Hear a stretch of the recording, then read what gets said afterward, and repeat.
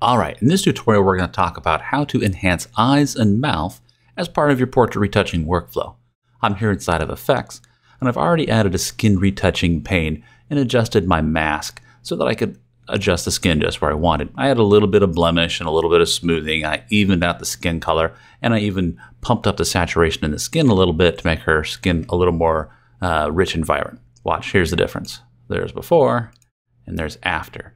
Now, the next step we're going to do is we want to go in and we want to whiten and brighten and sharpen the eyes and lighten up the teeth a little bit. I'm going to do all of this with adjustment layers using the local adjustments tools.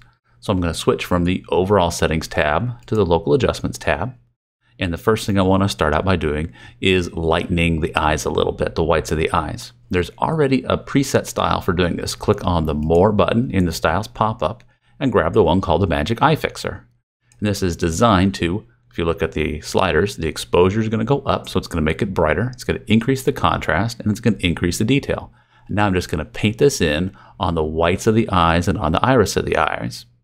Now, keep in mind when I do this, I want to use a pretty low brush opacity. I'm using about 30, and I have a fairly good feather on it, so a nice soft edge. So now I'm just going to paint right here on the inside of the eyes, like so, and like so. There we go. I'm just going to toggle that adjustment on and off so you can see the before and after. So there's before and after. And I can control how strong it is by the opacity, so I could paint in more if I wanted a stronger effect, or I could decrease the effect just by grabbing the opacity slider and turning it up and down. Or if I want it stronger, I can adjust the exposure or the detail or the contrast sliders based on what I want to do. For me, that's a good start. The next thing I want to do is I want to sharpen and enhance the eyelashes. So I'm just going to simply add another adjustment layer.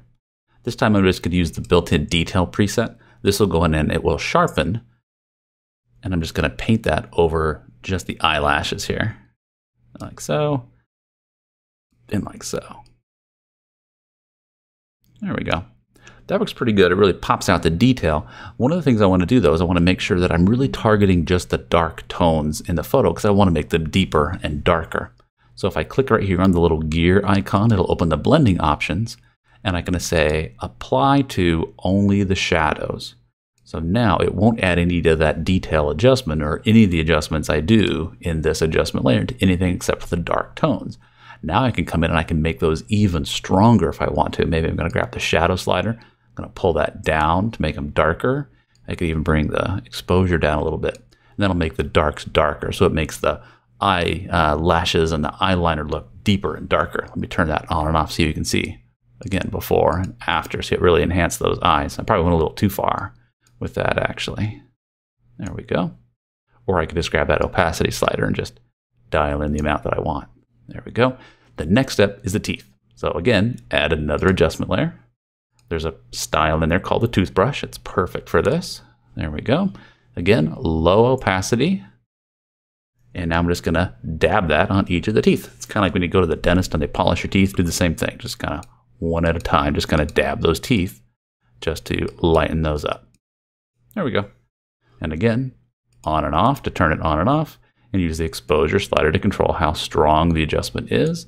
There's a saturation slider you can use to also pull out some of that stain color too, just like that. So there we go. That's how easy it is to use the local adjustment layers to go in and enhance the eyes and the mouth. Thanks for watching.